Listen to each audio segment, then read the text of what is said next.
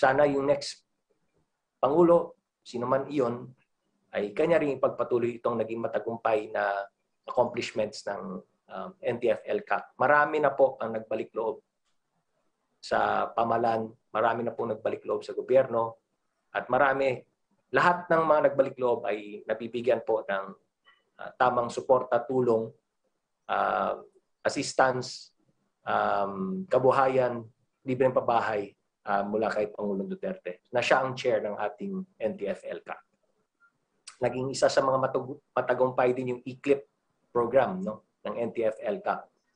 Uh, kung saan kasama rin sa second track natin ng localized peace engagements.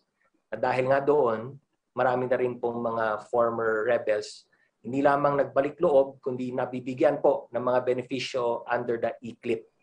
At uh, gaya ng sinabi ko, kanina naging matagumpay po yung NTF LCAC at mga Regional Task Force LCAC sa pag uh, uh, pagbibigay ng uh, maraming opportunities for many of the former rebels, mga rebelde dati na magbalik loob